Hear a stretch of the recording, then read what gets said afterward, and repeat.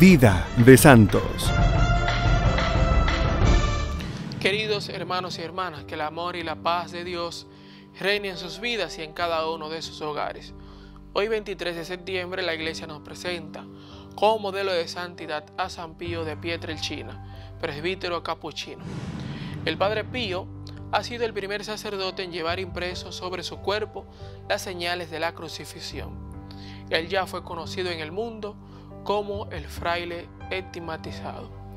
El Padre Pío, al que Dios donó particulares carismas como la bilocación, conocimiento de conciencia, don de profecía, así como las llagas de nuestro Señor Jesucristo.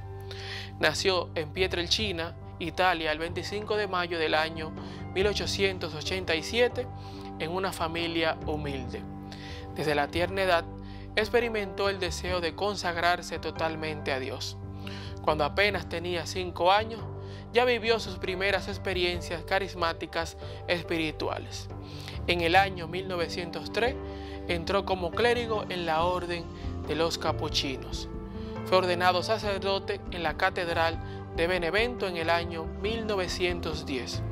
Se dedicaba a la oración con gran fervor, aprovechando la soledad y el silencio de la noche.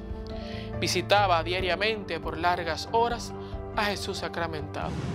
En el año 1918 recibió las llagas en manos y pies y costados. Este y otros carismas extraordinarios le obtuvieron muy pronto una fama mundial, pero le acarrearon un sinfín de problemas.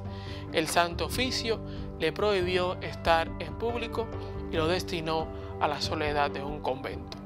Fundó un hospital llamado Casa Alivio de Sufrimiento y dio realce a los grupos de oración. El Padre Pío murió en el año 1968. El Papa San Juan Pablo II lo canonizó en el año 2002.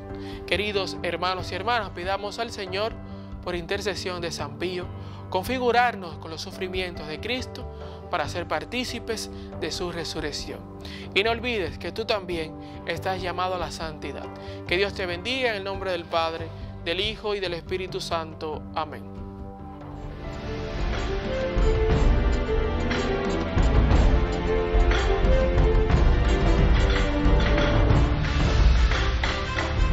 Vida de Santos.